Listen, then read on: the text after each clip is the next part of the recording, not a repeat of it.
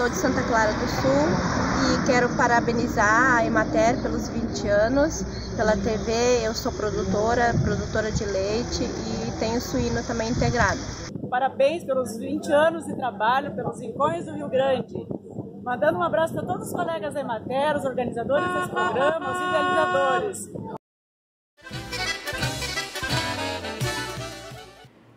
Reparou que o clima de Natal está chegando nas ruas, nas lojas, nas casas e a gente entra no clima também, mostrando como preparar aqueles tradicionais biscoitos de Natal.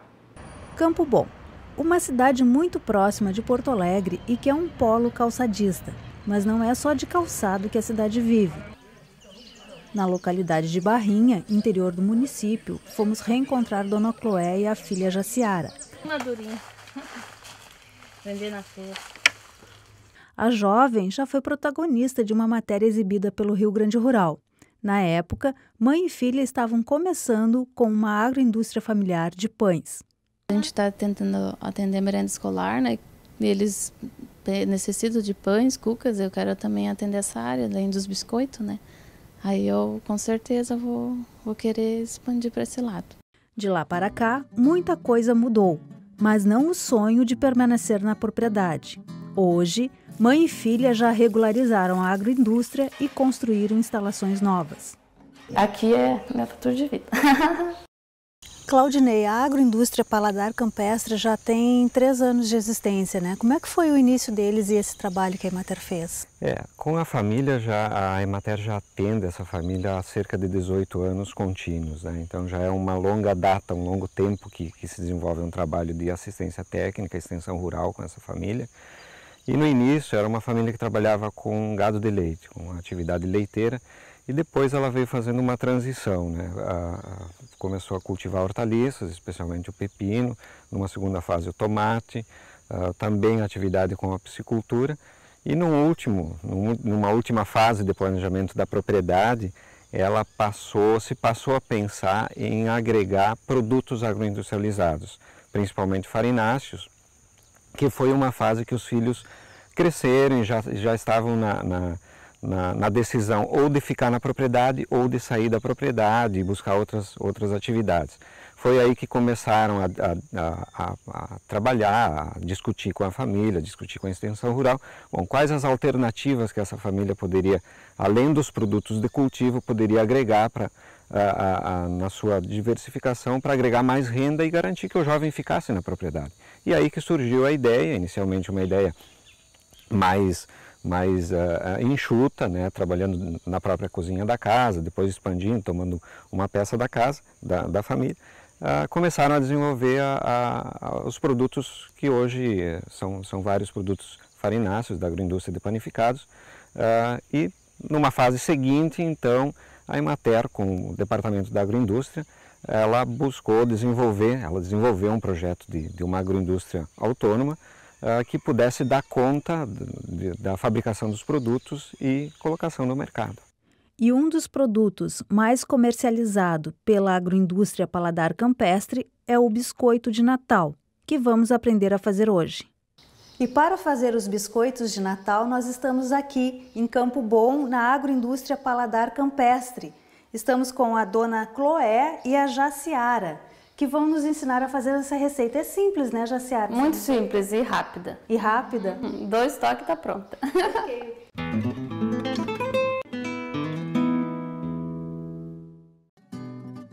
E para preparar os biscoitos de Natal são necessários os seguintes ingredientes. Para a massa, 200 gramas de manteiga, uma xícara e meia de açúcar refinado, dois ovos, uma colher de sopa de sal amoníaco, um quarto de xícara de leite, uma pitada de sal, uma colher de sopa de açúcar de baunilha e quatro xícaras de farinha de trigo.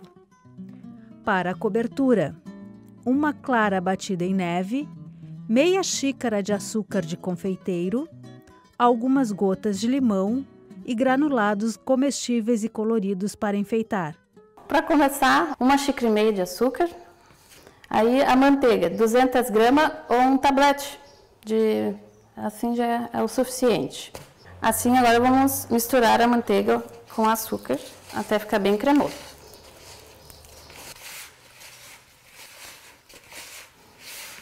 A manteiga tem que estar em temperatura ambiente ou ela pode... Sim, a manteiga é melhor, o ideal é em temperatura ambiente. Né? Caso ser aquecida, ela não pode ser derretida, né? Ela só pode ficar malzinha, né? Não pode derreter a manteiga.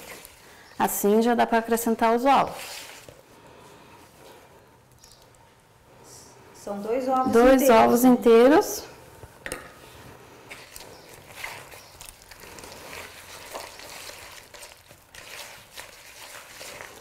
Mistura bem.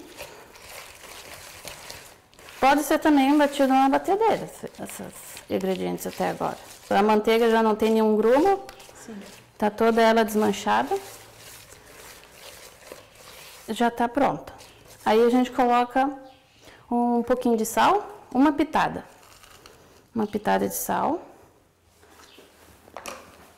Mistura. Sal amoníaco. É uma colher rasa, uma colher de sopa rasa. Mistura.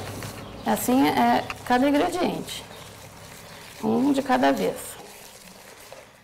Posso acrescentar aqui uma colher de açúcar de baunilha. Uma colher de sopa.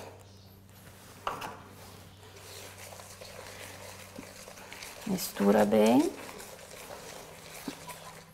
Pronto. O leite, um pouquinho. Tem a manteiga, os ovos, daí já já ajuda a amolecer a massa. Pronto, agora vai a farinha. Quanto de farinha? Quatro xícaras de farinha e ela tem que ser colocada aos poucos, não pode colocar tudo uma vez. Umas colheradas. Que dá bastante diferença. Se coloca tudo uma vez, ela fica muito dura. E se vai voltando assim, ela fica bem macia a massa. Vai misturando aos pouquinhos. Isso. Uhum.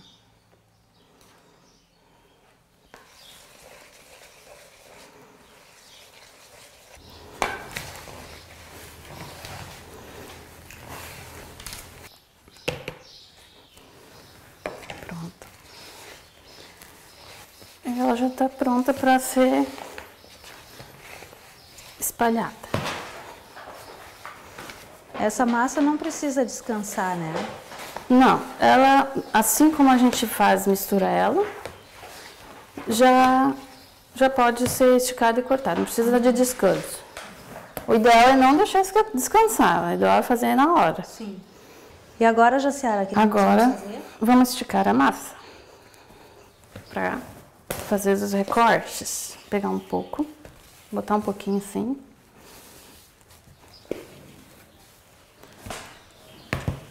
Pra não... Só para não, o início não grudar.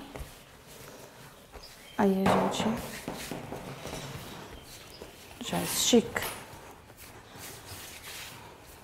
Bota um pouquinho de farinha, sempre trabalhar com um pouquinho de farinha não, não tem problema. Estica, virar. Farinha.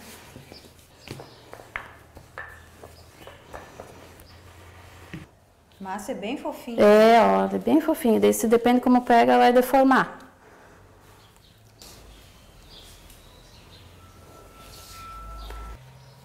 A forma não precisa estar untada.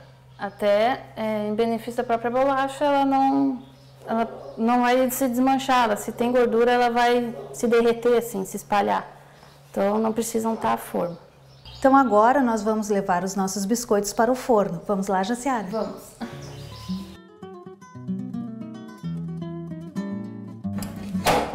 Forno ele é 160 graus e vamos deixar 6 minutos.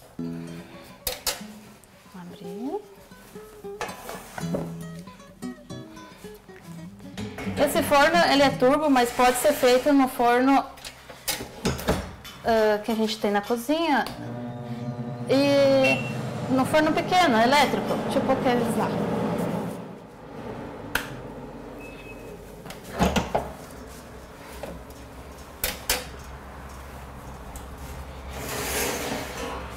Prontinhas. Agora vamos fazer a cobertura do biscoito. Para isso vamos precisar de uma clara e essa aqui é açúcar confeiteiro. É, pode ser um pouquinho mais de meia xícara. E umas gotinhas de limão. Batemos bem a clara agora, no batedeiro.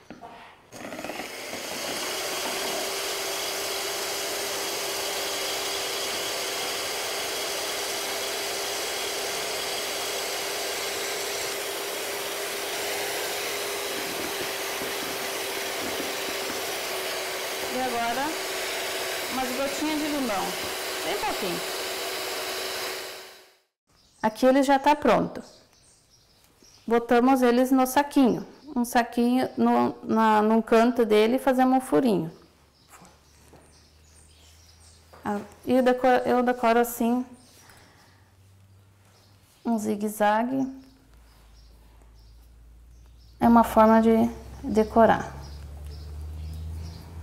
O merengue pode ser colorido, adicionando corante alimentício e fica bem bonito.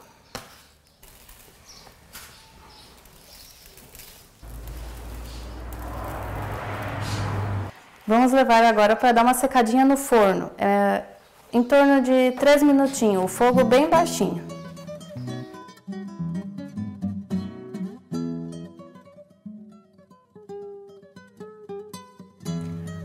Prontos os nossos biscoitos de Natal, mas eles não são os únicos produtos que a agroindústria Paladar Campestre faz, né, Jaciara? Não. O que mais que vocês oferecem? Ah, a gente faz bolos, pães, cucas e a variedade de biscoito ah, chega a uns 20 nós temos ao todo.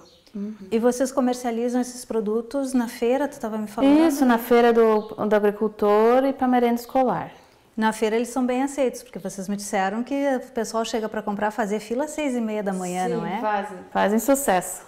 Então, então vamos experimentar esse sucesso. Vamos lá, gurias? Pega um, experimenta. Dona Cloé.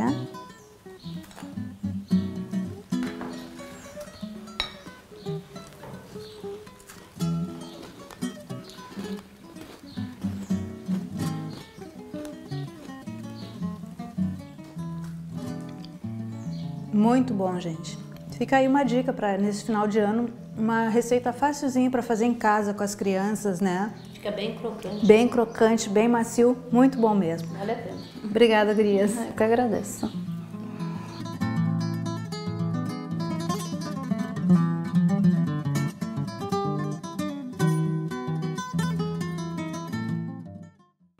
Se você não conseguiu anotar algum ingrediente ou perdeu algum detalhe da receita, pode rever as nossas reportagens através do endereço tv.emater.tche.br.